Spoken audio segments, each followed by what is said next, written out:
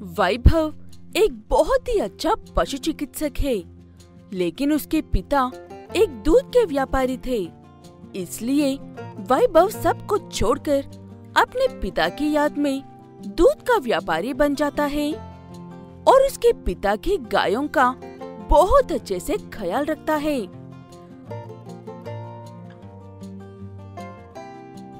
खाओ खाओ, जितना मर्ज़ी उतना खाओ। तुम्हारी अच्छी सेहत के लिए हर एक घास से बेहतर और कुछ भी नहीं है। इसीलिए मैं खेत में साल भर सिर्फ़ घास ही उगा रहा हूँ। वैभव के घर के सामने ही बेसन नाम का एक और लालची दूध वाला रहता है। बेसन को जो घास मिले, वही उठाकर लाकर अपनी गायों को डाल देता है और उनसे बड़ी बड़ी उम्मीदें लगाकर बैठ जाते हैं। जो कभी पूरी नहीं होती है और वो गुस्सा होता रहता है। दिन भर सिर्फ़ घास खाते रहते हो और चुल्लू भर दूध देते हो। मैं क्या व्यापार करूँगा इस चुल्लू भर दूध से? लगता है तुम्हारा सर्विस ही खत्म हो गई है। कल सुबह ही तुम्हें बाज़ार में बेचकर एक्सचेंज में नई गाय लेकर आऊँगा।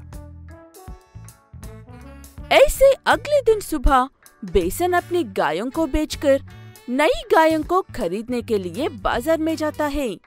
वहीं पर से गुजर रहा वैभव अपने पड़ोसी बेसन को देखकर, उसके पास आकर उससे बात करता है। क्या बात है बेसन? तुम अपनी सारी गायों को लेकर यहाँ पर क्या कर रहे हो? कहीं इन्हें बेचने का इरादा तो नहीं है ना तुम्हारा? मज़ाक में ही सही है। तुम बात बिल्कुल सही कहा है, वैभव। मैं इससे तंग हो गया हूँ। दिन भर सिर्फ़ घास खाती रहती है, लेकिन दूध बिल्कुल भी नहीं देती है। वैभव, बेसन के घर के सामने ही रहता है। इसलिए उसे बेसन के बर्तव के बारे में सब कुछ पता है। बेसन को उसकी गलती का एहसास दिलाने के लिए वैभव बेसन से उसकी सारी गायें खरीद लेता है। जितने समझदार लगते हो उतनी समझदार नहीं हो वैभव तुम। ऐसे कहते हुए गायों को देकर पैसे लेकर वहाँ से चला जाता है बेसन। वैभव भी उन गायों को अपने साथ लेकर जाकर बहुत अच्छे से ख्याल रखता है। वैभव अपने डॉक्टर दिमाग को इस्तेमाल करके ऐसे स्वस्थ कर देता है कि उन्हें दूध देने के लिए एक स्थान बस नहीं होते हैं। इसलिए वैभव उन्हें एक और आर्टिफिशियल स्थान लगाता है। एक एक गाय दस गायों के बराबर दूध देने लगी थी। वो देखकर लालची बेसन का मन बदल जाता है। वैभव, मेरा मन बदल गया है। मुझे मेरी गाय वापस कर दो और तुम अपने पैसे वापस ले लो। वैसे तो तुम मुझे ना समझ कह रहे थे, लेकिन आज तुम ही बच्चों जैसे बातें कर रहे हो। एक बार मैं उन गायों को खरीद लिया है। इसका मतलब अब वो तुम्हारी नहीं है। अगर तुम्हें अपनी गाय वापस चाहिए तो एक एक गाय के एक एक लाख देकर ले जाओ। जिस हिसाब से वो गाय दूध दे रही है, ऐसे तो मेरे पैसे एक दो महीने में ही वापस आ जाएँगे। हाँ ठीक है, पैसे लो और गाय वापस कर दो। ऐसे बेसन हर गाय को एक एक लाख देकर खरीद कर अपने घर लेकर जाता है। वो गाय दो तीन दिन तक अच्छे से दूध देते हैं। उसके बाद धीरे धीरे दूध देना कम कर देते हैं। और एक हफ़्ते बाद पहले जैसे थी, वैसे ही हो जाते हैं। बेसन के पास अब बिल्कुल भी पैसे नहीं थे और गाय भी दूध नहीं दे रही थी। इसलिए बेसन उन्हें फिर से बाज़ार में बेचने के लिए लेकर जा रहा था। तभी उसे वैभव रोक लेता है। फिर से कहा, चल दिया बेसन भाई। अब तो तुम्हारी गाय अच्छे दूध देती है ना? पता नहीं तुम मेरा मज़ाक उड़ा रहे हो या सच में इस बात से अनजान हो। ये गाय पहले जैसे ही हो गई है और चुल्लू भर दूध देने लगी है।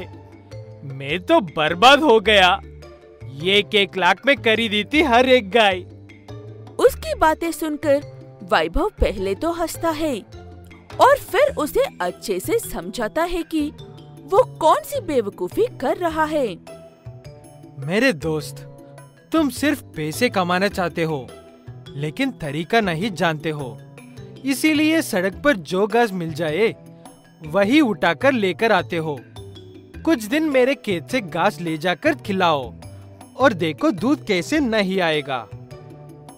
ऐसे कहते हुए, वैभव उसे उसके पैसे लौटाकर घर बेच देता है।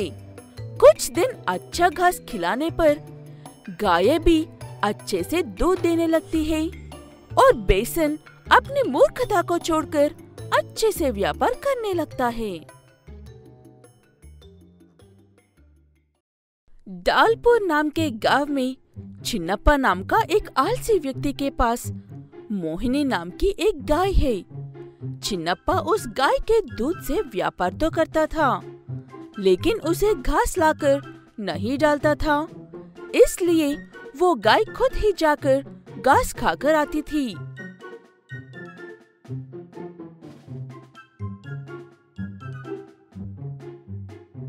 अगर ऐसी गाय मेरे पास होती तो उसे कभी घास की कमी नहीं होने देता। कितनी समझदार गाय है। बिल्कुल सही कह रहा है तू। जिसके पास अनमोल चीज़ होती है, उसे उस चीज़ की कोई खातिर नहीं होती है। जब मोहिनी घास खाने के लिए जंगल में जाती है, तब गाँव वाले उसे देखकर ऐसी बातें करते हैं। क्योंकि पूरे गाँव में वो एक ही ऐसी गाय थी। हमेशा की तरह घास खाने के लिए जंगल में गई हुई मोहिनी को धूप की वजह से सारी घास सूखी नज़र आती है। लगता है आज मुझे जंगल में अंदर तक जाना ही पड़ेगा। और कोई रास्ता भी तो नहीं है मेरे पास? ऐसे कहते हुए मोहिनी जंगल के अंदर जाकर घास खाते हुए वहाँ के खूबसूरत नज़रों का आनंद ले रही थी। लेकिन उसके मन में जंगली जानवरों का डर भी था और उसका डर सही भी था, क्योंकि दूर खड़ा होकर एक पेड़ के पीछे से उसे एक शेरनी देख रही थी। मोहिनी को उस बात की भनक लगते ही वहाँ से निकलने की कोशिश करती है। शेरनी भी उसके पीछे पीछे आने लगती है। ऐसे दोनों कुछ दूर भागते हैं। भागते भागते शेरनी एक गड्ढे में गिर जाती है और उसे बहुत ज़्यादा चोटें लगती है।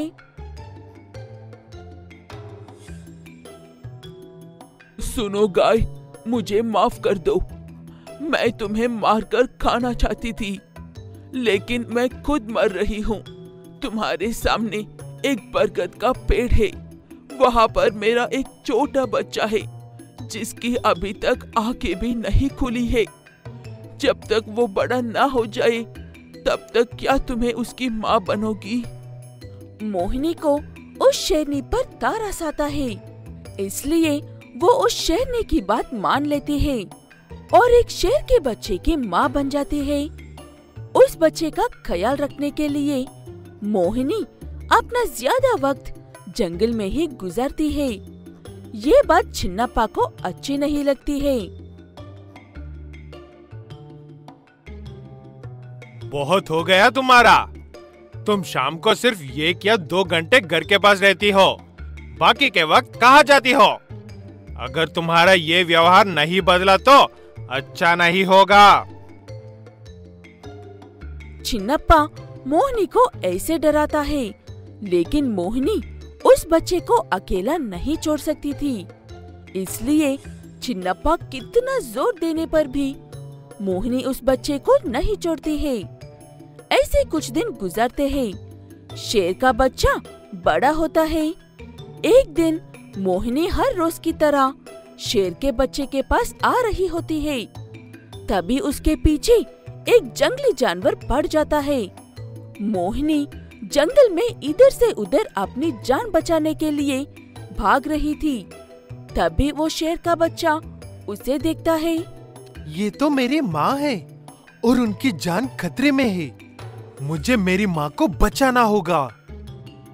ऐसे कहते हुए वो शेर का बच्चा भाग भागकर जाकर मोहिनी को उन जंगली जानवरों से बचा लेता है। वो देखकर मोहिनी खुश भी होती है और दुखी भी होती है, क्योंकि अब उसे उस शेर के बच्चे को छोड़ना था। बेटा, मैं तुम्हारी असली माँ नहीं हूँ। तुम्हारी असली माँ मेरा शिकार करते हुए एक गड्ढे में गिरकर मर गई थी। उन्होंने मरते वक्त मुझे तुम्हारा ख्याल रखने को कहा था। अब तुम बड़े हो गए हो। अपना ख्याल रख सकते हो। इसलिए मुझे जाना होगा। जिसने आपकी जान लेनी चाही अब उसी के बच्चे का रक्षा कर रही थी। अब भले कि मेरी असली माँ नहीं हो, लेकिन असली माँ से कई ज़्यादा हो माँ। आपको जो सही लगे, वही कीजिए। अब हमेशा अच्छा ही करती हो। वो बात सुनकर मोहिनी बहुत खुश होती है और वापस गाँव में लौट जाती है। मेरे कितना कहने पर भी ये बात नहीं सुन रही है कहकर छिन्नप्पा मोहिनी की पिटाई करता है। दूर से देख रहा शेर का बच्चा इंतज़ार करता है कि चिन्नप्पा अकेला होने का जैसे ही वो अकेला होता है, शेर का बच्चा उसे ऐसा डराता है कि चिन्नप्पा की तबीयत खराब हो जाती है। उसके बाद से वो शेर का बच्चा हर वक्त मोहिनी के आसपास ही रहता है और वो जब भी मुसीबत में होती है, तब उसे पता चले बिना ही उसे बचा लेता है। ये बात मोहनी के अलावा हर किसी को समझ में आती है और तब से सब उससे अच्छा बर्ताव ही करते हैं। पहले माँ ने बेटे की रक्षा की थी और अब बेटे अपनी माँ की रक्षा कर रहा है।